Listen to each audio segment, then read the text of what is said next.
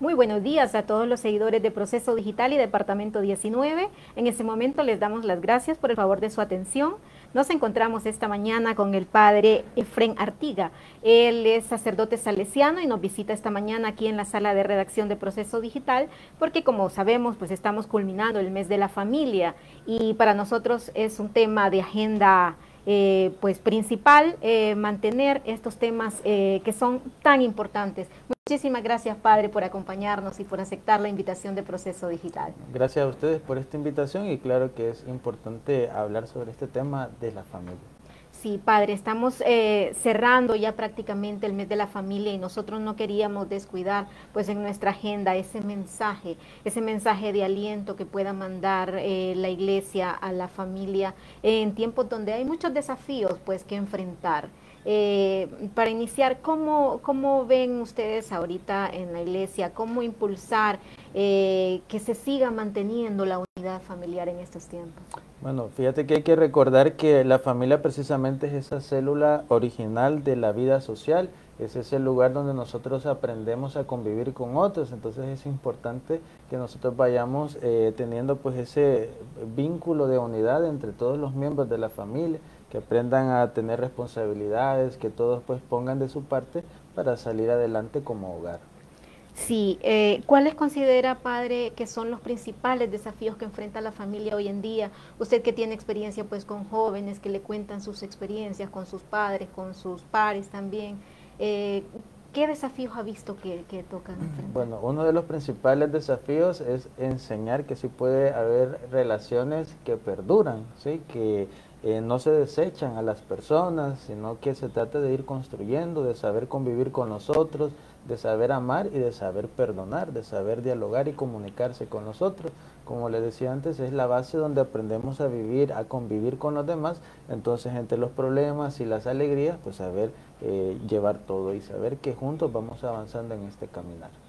Sí, padre, ahí hoy en día pues la familia debe seguir jugando ese papel transmisor de los valores, tanto los valores éticos, morales, religiosos, eh, cómo, los padres eh, pueden seguir en un mundo que está tan, tan diverso y tan, tan ocupado, pues eh, ya casi las familias poco se ven.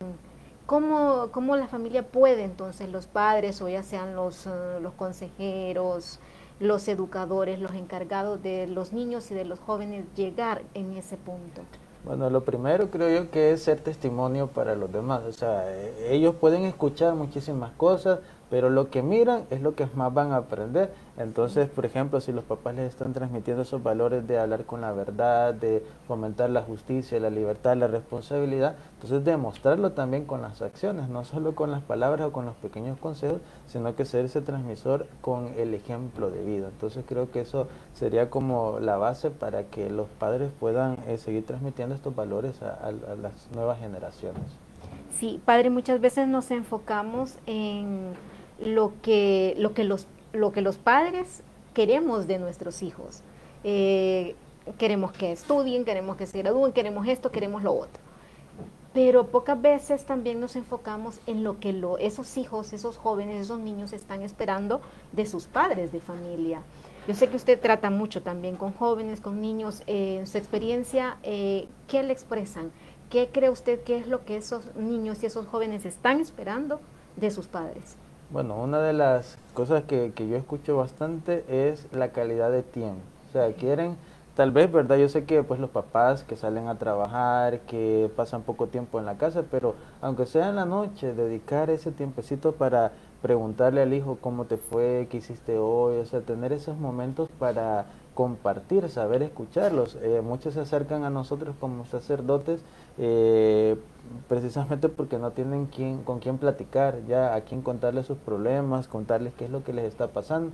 Entonces donde muchas veces al no tener alguien con quien platicar en la casa es que tampoco hay confianza para después decirle, digamos, cuando se han metido en problemas grandes o qué sea. Entonces, como no ha habido confianza en las cosas pequeñas, no hay, digamos, para lo mayor. Entonces yo creo que el saber escuchar es eh, que, que, los papás estén dispuestos a dedicarles ese tiempecito a sus hijos, creo que ya es un gran aporte para ellos. Normalmente uno idealiza tanto los papás quieren que sus hijos pues no les vaya mal en la vida, que todo vaya siendo de muchos éxitos y todo. Y creo que los hijos igual esperan en su papá, en su mamá como aquel héroe o aquella persona que, que no tiene defectos y todo, pues, pero no, ¿verdad? Ir como conociéndonos todos, saber que todos tenemos eh, virtudes y tenemos defectos y que juntos vamos a ir desarrollando para que contribuir pues a que la persona alcance toda su plenitud. Precisamente, padre, hablando de, de, esos problemas en los que los jóvenes se pueden, bueno, desviar de repente cuando no tienen una buena formación o no hay una buena comunicación en la familia, eh, ¿qué papel juega la familia hoy en día en la, en la sociedad? Eh, ¿Sigue siendo prioritario? ¿Y cómo pues eh, lograr hoy en día mantener vivo ese, ese aspecto familiar dentro de la sociedad y que no que estos jóvenes no, no tomen caminos inadecuados. Se dice que la, la sociedad es reflejo de las familias, entonces en la familia siempre va a haber problemas y todo, pero es donde nosotros tenemos que ir viendo cómo vamos solucionando todo esto que se va viviendo, ¿ya? O sea, si en la familia es puro pleito, puro golpe, pues violencia, o sea, eso se va a ver reflejado luego en los ambientes en los que cada miembro de esa familia se vaya desenvolviendo y eso se va a ver, digamos, a grandes rasgos luego en la, en la sociedad. Entonces, saber pues que, que tenemos esa oportunidad para hacer los cambios dentro de ese núcleo familiar. Entonces, es donde viene la importancia pues de, de saber tener relaciones sanas eh, relaciones que construyan, que edifiquen dentro de la familia para que eso mismo se vaya transmitiendo después en la sociedad. Sí, padre, hoy día eh, hay un aspecto que está influyendo mucho también en esa comunicación de la que usted nos habla y esa calidad de tiempo y todo, y son precisamente eh, las redes sociales o toda esta era digital que nos envuelve. No es malo, al contrario, si se, si se sabe utilizar, ¿no? Pero ¿cómo entonces eh, orientar a, tanto a los padres de familia como a los jóvenes, a los niños, para que estas redes sociales sean bien aprovechadas y que esto no influya en alejar más bien las familias? Sí, yo creo que um, un paso que hay que dar es eh, enseñar pues, a las nuevas generaciones y quizás aprender también nosotros a darle buen uso a toda la tecnología. Eh, uno puede, digamos, este, informarse, uno puede tener, este, no sé, ¿verdad?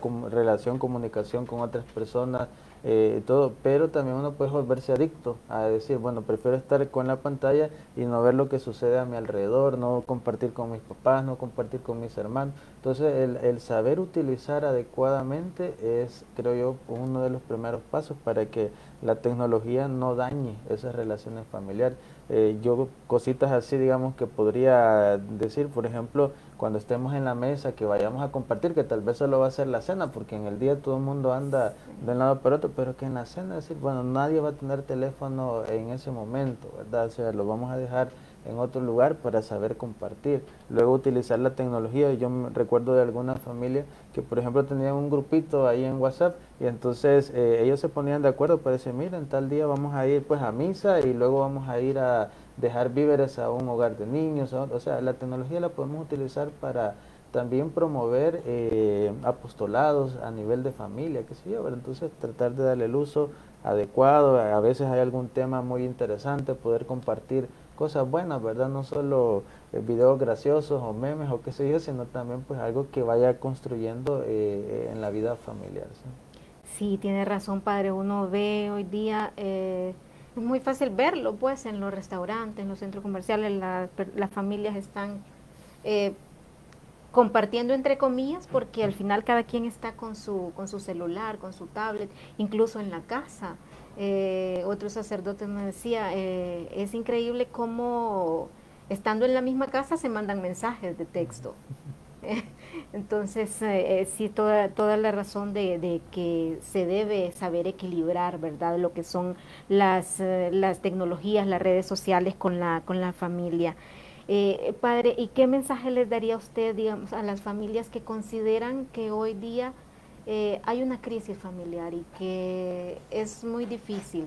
Incluso hay muchos jóvenes que le temen mucho al matrimonio y ahí dicen, ¿para qué? ¿Para, ¿Para qué el matrimonio si al final todo termina en divorcio? Porque vemos que las estadísticas de divorcio crecen cada día. Sí, yo cuando hay una crisis, cuando hay un problema en una empresa, en una institución, eh, ¿qué es lo que se busca? Darle solución a eso. Entonces lo mismo a las familias, que cuando tengan alguna crisis, cuando tengan algún problema, es a través del diálogo que van a buscar solución. Ya, o sea, todo se puede resolver en esta vida, pero tienen que, por ejemplo, cuando son dos partes las implicadas, los dos tener, eh, decir, ¿verdad? O sea, yo quiero cambiar las cosas, quiero mejorar esto, entonces poner de su parte para poder solucionar todo. Entonces, eh, y luego eh, el ejemplo que los matrimonios, o sea, mucha gente que se queja, mire, es que ya los jóvenes no se quieren casar o que no sé qué, no sé cuánto, pero es que qué ejemplo les han dado sus, sus papás, ¿verdad? Entonces dicen, para terminar peleando como pelean ellos, entonces que eso yo no lo quiero para mi vida. Entonces, eh, ser, como decía desde las preguntas anteriores, ser un testimonio, ser ejemplo para estas nuevas generaciones. O sea, que los esposos, los matrimonios, eh, les, muestren a ellos que sí se puede dialogar, que sí se puede comunicar, que se puede amar, que se puede perdonar. Entonces eso creo yo que eh, es, esencial para,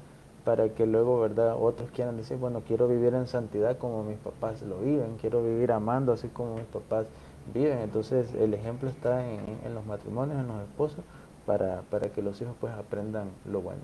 Padre, también debe haber un mutuo acuerdo en cuanto a la educación de los hijos, porque dentro del hogar el papá a veces tira de un lado y la mamá tira de otro, dan una orden y una contraorden. Sí. sí, por eso ahí el diálogo entre los esposos tiene que estar, las reglas en la casa las tienen que poner entre los dos y, y pues este bonito, ¿verdad? Cuando es la misma familia la que va viendo, o sea, tampoco ser tan exigentes, tan cuadrados, tan que los hijos a veces hasta como que se sienten presos no, ¿verdad? O sea, enseñarles en la libertad.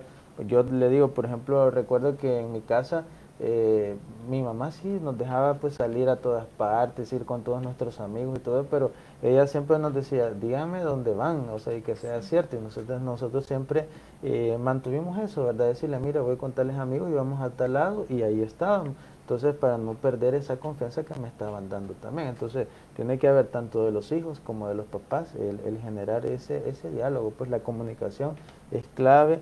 Y luego otra de las cositas que pues no se olviden de Dios, de esa relación que hay que tener eh, con, nuestro creador y, tener pues ese, esa disponibilidad para aprender de Él que nos ama, que nos perdona y eso mismo reflejarlo en, en la familia. Sí, padre, finalmente le dejo las cámaras de proceso digital para que usted nos deje su mensaje como iglesia, como sacerdote salesiano que tiene mucha relación con los jóvenes eh, para puntualizar el mes de la familia. Bueno, papás, amen a sus hijos, escúchenlos, estén pendientes de ellos. Hijos, aprendan a escuchar los consejos de sus papás aprendamos a vivir en familia, aprendamos a relacionarnos los unos a los otros y todo lo que vivamos en la casa, ojalá que construya para que como personas podamos desarrollarnos en todas nuestras dimensiones.